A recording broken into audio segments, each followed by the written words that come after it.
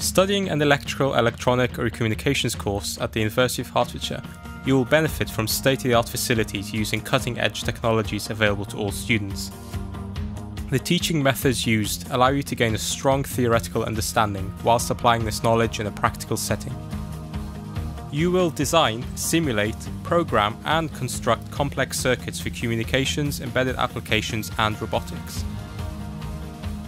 The enthusiastic staff in the School of Engineering and Technology are experts in their fields and give you the tools to apply practical skills developed during your study to your own project work.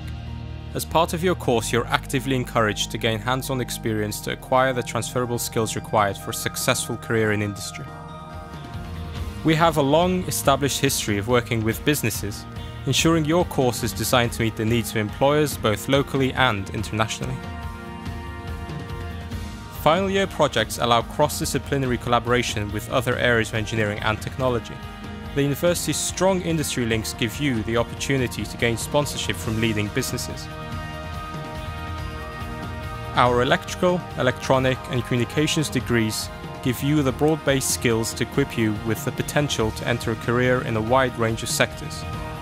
These skills, combined with practical applied learning, give you the tools to excel in your chosen career path. Engineer your future career.